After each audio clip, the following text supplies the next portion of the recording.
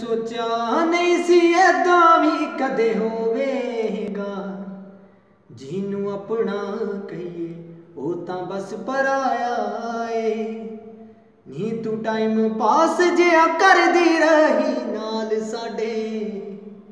ਅਸੀਂ ਪਾਗਲ ਸੀ ਜੋ ਤੈਨੂੰ ਦਿਲ ਤੇ ਲਾਇਆ ਏ। ਨੀ ਮੈਂ ਸੋਚਿਆ ਨਹੀਂ ਸੀ ਏਦਾਂ ਵੀ ਕਦੇ ਹੋ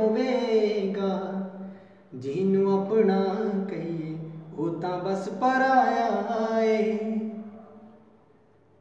ਹੱਦੋਂ ਵੱਧ ਕੇ ਤੇਰੇ ਉੱਤੇ ਹੱਕ ਜਿਤਾ ਬੈਠੇ। ਤੈਨੂੰ ਆਪਣਾ ਸਮਝ ਕੇ ਸੁਪਨੇ ਕਈ ਸਜਾ ਬੈਠੇ। ਹੱਦੋਂ ਵੱਧ ਕੇ ਤੇਰੇ ਉੱਤੇ ਹੱਕ ਜਿਤਾ ਬੈਠੇ।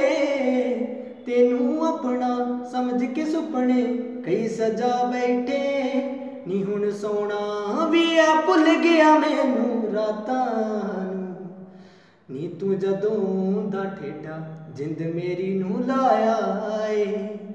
ਨੀ ਮੈਂ ਸੋਚਿਆ ਨਹੀਂ ਸੀ ਏਦਾਂ ਵੀ ਕਦੇ ਹੋਵੇਗਾ।